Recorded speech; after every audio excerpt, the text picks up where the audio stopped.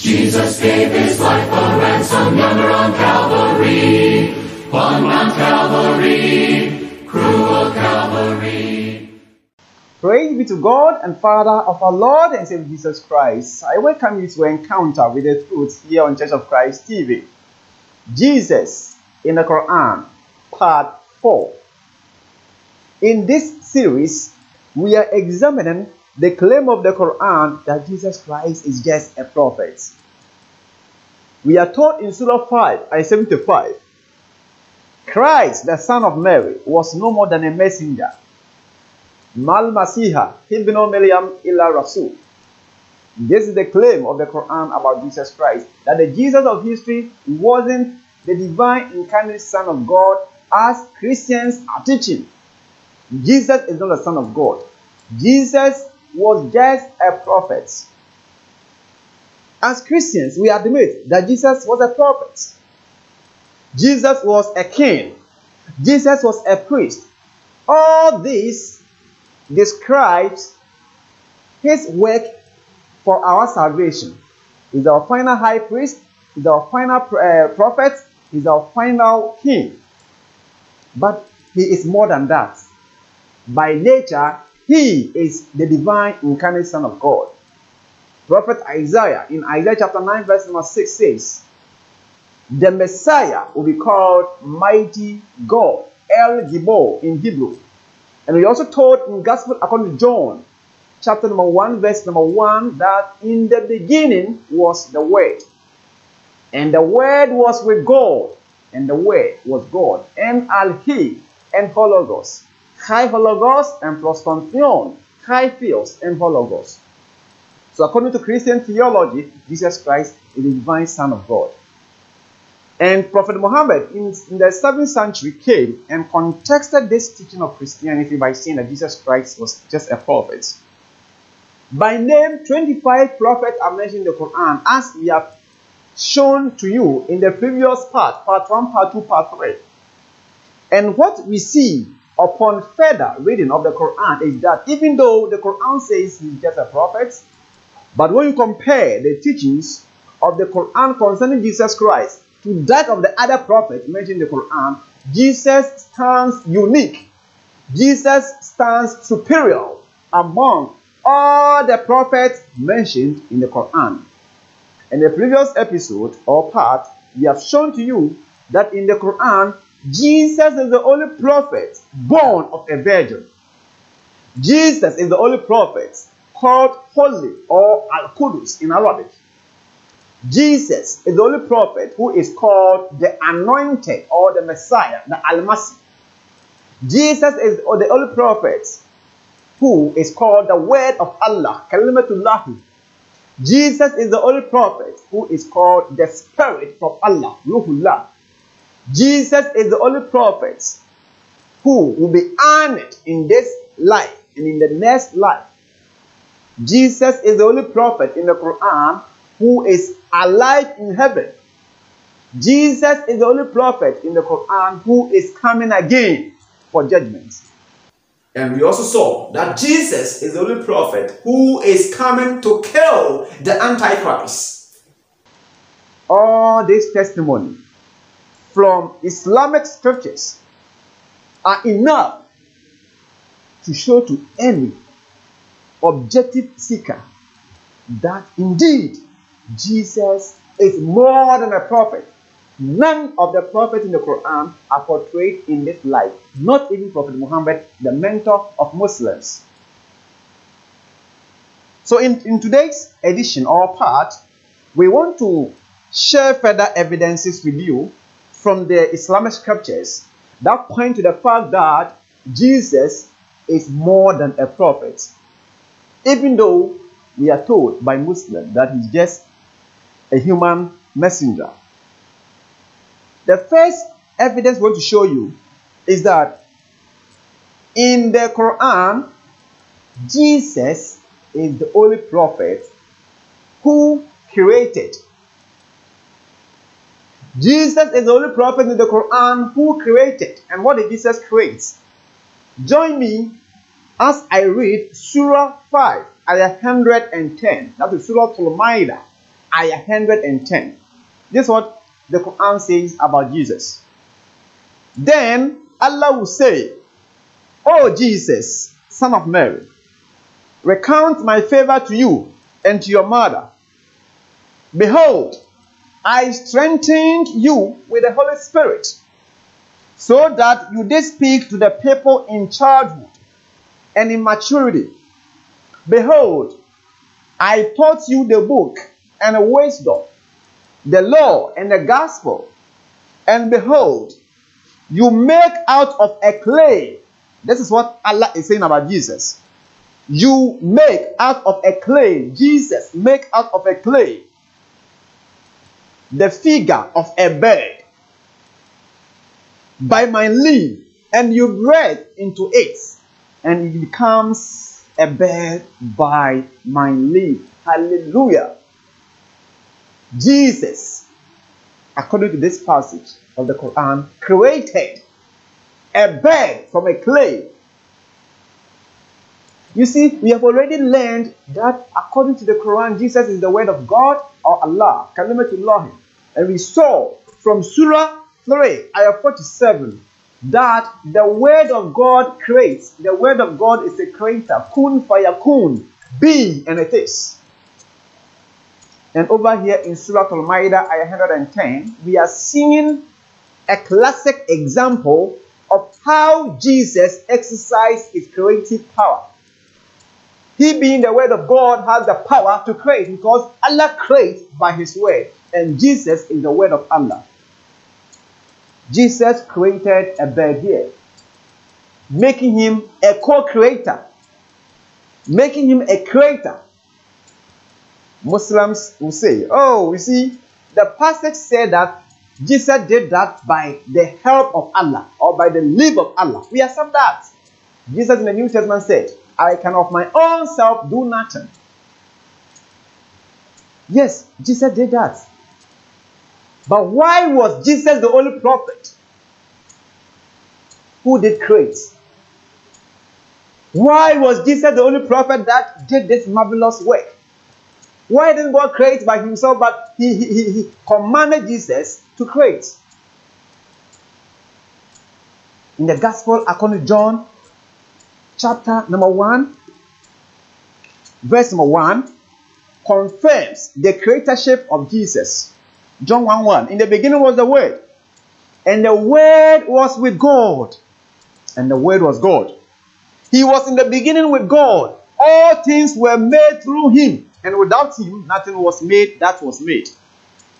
All things were made through Him, and without Him, nothing was made that was made. Jesus is a creator according to both the Quran and the Bible. My dear Muslim, you can't compare this person to any of the prophets mentioned in the Quran. Jesus Christ is a, uh, is, is a super prophet. He indeed creates a bird, making him a creator. So Jesus created a bird. So who is Jesus? Is he a creator? Jesus created. He alone created in the Quran. Among the prophets, Muhammad never create, created. Ibrahim never created. Ismail never created. Suleiman never created.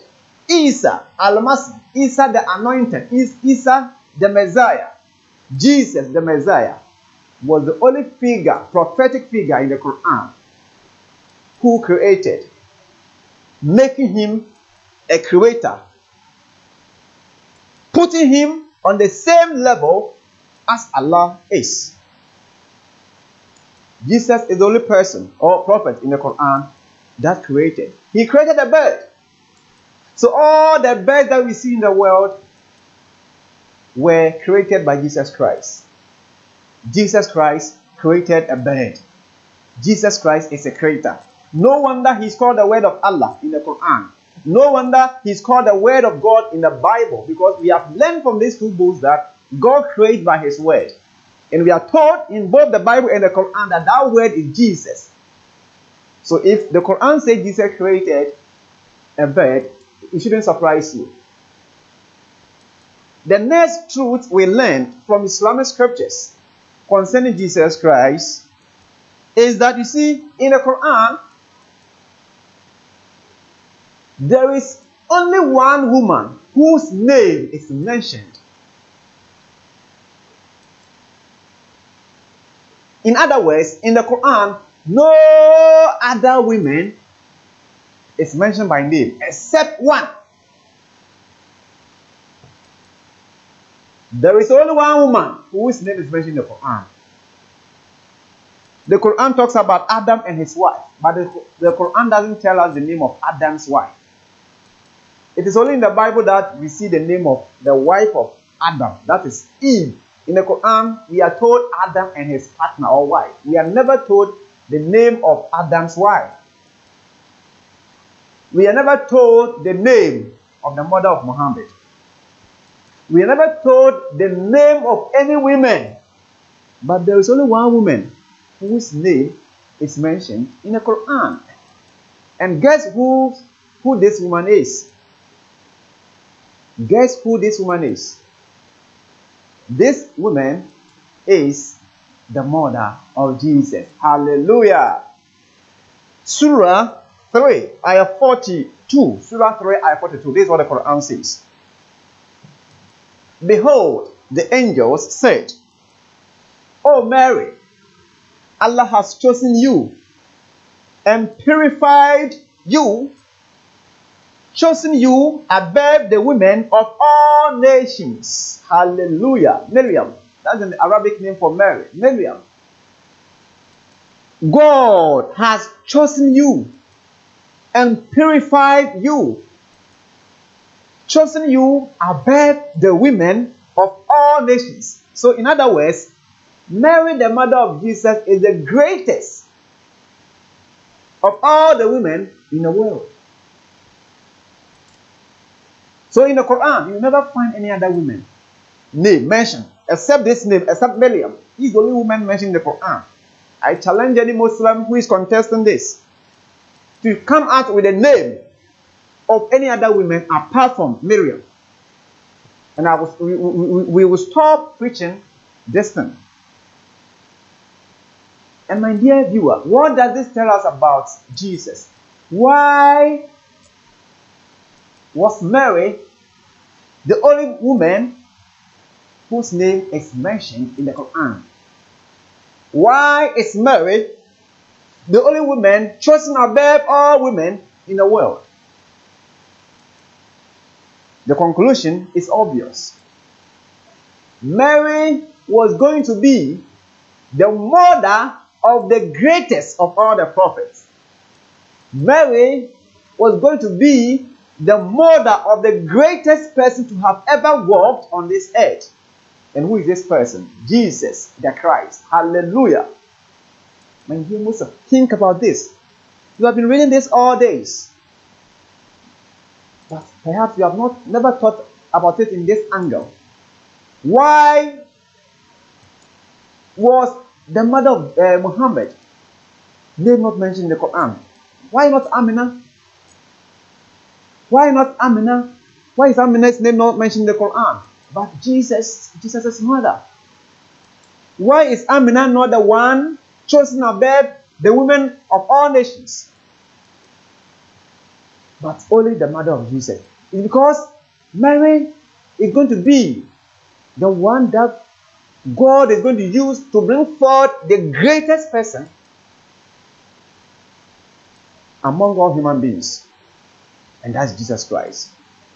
So the Quranic teaching that Jesus, uh, Mary is the greatest of all, uh, uh, among all women, or the greatest of all the women in the world, and the one whose name is mentioned in the Quran, makes Jesus greatest, the greatest among all the prophets. Think about this deeply. Philosophize on this. Allah has chosen Mary and made him superior among the women of all nations. Why? Because Mary is the mother of the greatest person to have ever walked on this earth, the Lord Jesus Christ. His mother was the only person named by uh, mentioned by name in the Quran. Why? Because Mary is the mother of the greatest person to have ever walked on this life or this earth. The final truth we want to share with you in this part is that according to the hadith, Jesus, Jesus is the only person Satan could not touch at birth. This is very amazing. This is very, very amazing. And this hadith was narrated by Abu Huraira, one of the faithful Sahabas. Any hadith that come from Abu Huraira is treated with greatest authenticity. This is what Prophet Muhammad said concerning Jesus Christ. Narrated Abu Huraira, the Prophet, may peace be upon him, said, When any human being is born, Satan or Shaitan touches him at both sides of the body with his two fingers, except Jesus, the son of Mary, whom Satan tried to touch but failed, for he touched the placenta cover instead. We see this in Sahih Bukhari, volume 4, book 54, hadith number 506. Sahih Bukhari is the first authentic hadith. It is the first among the Sihahu Sita, the authentic collection of life history about Prophet Muhammad, compiled by the rebelled Imam Bukhari.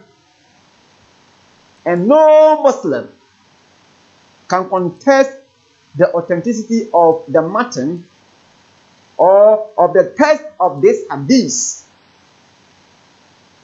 And what does this hadith tell us? Prophet Muhammad is saying that when any human being is born, immediately the person is born, immediately the baby is born, Shaitan touches the baby with his two fingers at both sides of the uh, uh, uh, of the body of the baby. But there is only one person that Shaitan couldn't touch.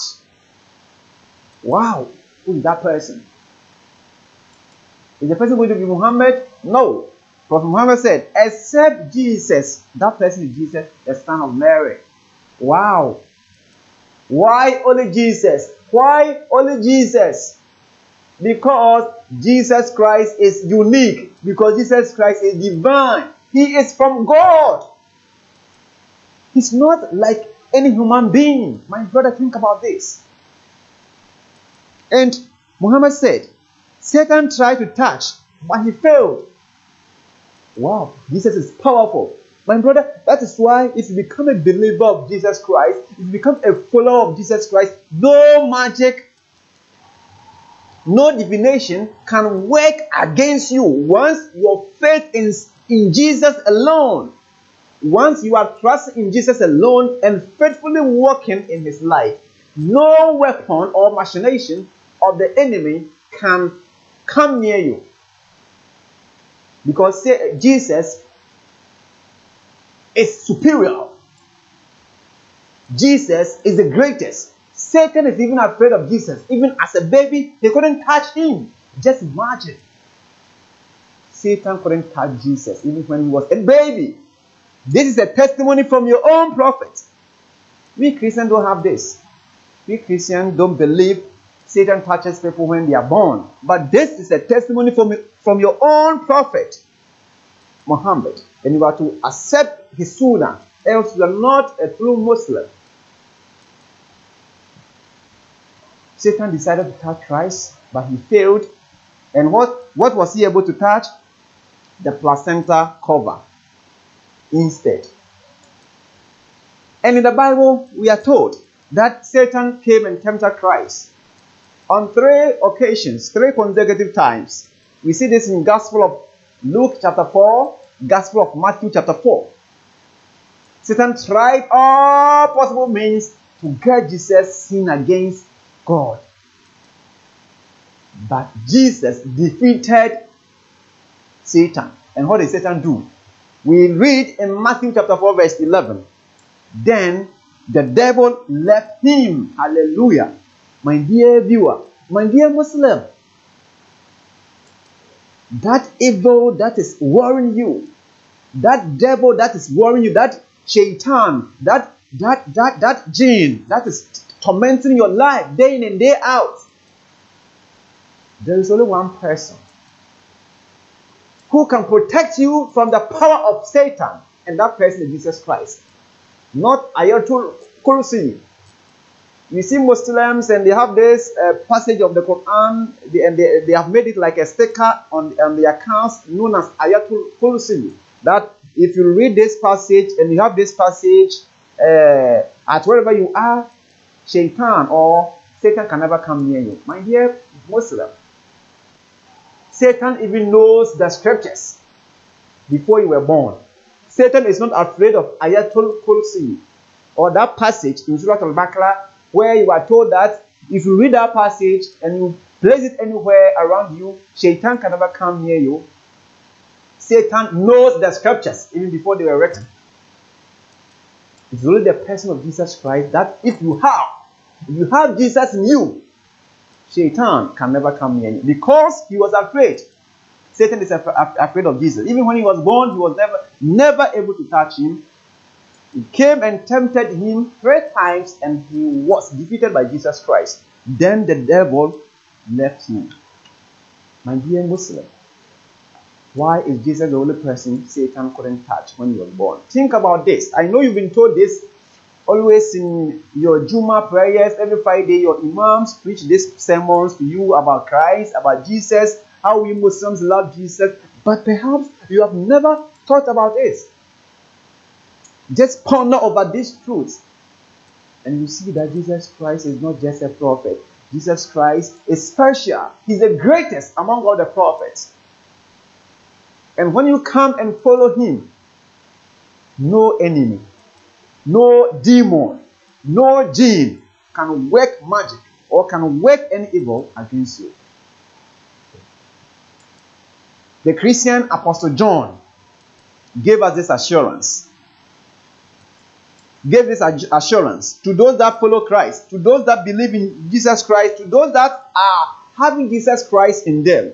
Gospel according to John, chapter number 4, verse number 4. This is what we are told. You are of God, little children, and have overcome them, because he who is in you is greater than he who is in the world. Hallelujah. You see the provision. You see one of the blessings that you will get, my dear Muslim, if you give your life to Jesus. The Bible says, He who is in you will be greater than he who is in the world. And who is in the world? Satan. No machination of the devil, of Iblis, of Satan can work against you if you have Jesus Christ in you. And how can you have Jesus Christ in you? My dear Muslim, how can you have Jesus Christ in you? You can have Jesus Christ in you by trusting in Him, by believing in Him. And what should we believe about Jesus? I know sometimes you have been told that, you see, we Muslims believe in Jesus Christ even more than you Christians because we believe that He's the Almighty. We believe that He was born of a virgin. We believe that He's the Word of Allah. We believe He's coming again. So all these things that we know makes us believers of Jesus Christ. And we even pray the way Jesus Christ prayed. We even uh, wash our feet when we are about to pray. We even um, fast as Jesus also fasted. We name our babies after Jesus. We have so many things about Jesus. We have a whole chapter of the Quran that is named after Jesus, the, uh, after Mary, the mother of Jesus, Surah to Miriam. So all these things shows us that we Muslims even believe in Jesus. My dear Muslim, these are not how we believe in Jesus. Just acknowledging this truth or this statement about Jesus doesn't make you a believer of Jesus. Believing in Jesus is a relationship. Believing in Jesus Christ is a relationship. And in the Bible, Jesus taught us how we are to believe in Him. Jesus taught us how we are to believe in Him. he says, If you do not believe that I am He, if you do not believe that I am He, you see this in Gospel according to John, chapter number 8, verse number 24. Therefore, I said to you that you will die in your sins. For if you do not believe that I am He, you will die in your sins. This is what Jesus Christ told the Jewish audience. If you do not believe that I, Jesus, I am He, and what is the He referring to? That He is the Son of God. Jesus is the Son of God who came to die to save I and you from our sins. If you do not believe in this statement about Jesus Christ, the fact that He is the Son of God, the fact that He is the Lamb of God who died to pay for our sins. Jesus said that to die in your sins. If, if you reject this teaching about Christ, you are not a believer of Jesus Christ. And when you believe in this, you see Jesus Christ as the Savior. You repent from your sins. You repent from your sins. That evil deed that blocks you. Repent, you change your mind. I'm not, I, I will no longer live in this kind of life. Now I want to follow the Messiah. I want to follow the Al-Masih. That is repentance. Then you give your life to Jesus Christ finally in baptism. He taught this in the Gospel according to Mark, chapter number 16, verse number 16. He says, He who believes, he who believes that I am the Son of God, he who believes that I died to save them from their sins, or him from uh, his or her sins, and is baptized, shall be saved. If you believe and you are baptized, Jesus saves you. I know this message has touched your heart and you want to give your life to Jesus Christ. Call the numbers on your screen. We are ready to help you in baptism. Visit us at the Church of Christ. Wherever you are, you have a Church of Christ in your community. Visit us, and we promise to help you become a true believer of Jesus Christ, a follower of Jesus Christ, and worship God with us. In our congregations, where New Testament Christianity is practiced, where we preach the gospel, where we preach nothing but the truth, where you see the love of Christ, where New Testament Christianity is beautifully restored and practiced. Maybe you have not visited, you have never visited any, any Christian community before. We in the Churches of Christ promise to give you a very great Christian environment where you can worship God in spirit and in truth. Why don't you call the numbers or visit any Church of Christ around you so that you too can become a follower of Jesus Christ and enjoy these blessings? One of which is that Satan will never come near you. No demon, no, uh, uh, no um, jinn can come near you. We are hoping forward. We are looking forward to seeing you one day in heaven. If not, before. God bless you for watching and bye bye. Jesus gave his life a ransom yonder on Calvary, on Mount Calvary, cruel Calvary. Paved the way by blood that we might win a bright shining crown. Praise his holy name. Salvation has been brought down, oh glory, Praise the Lord.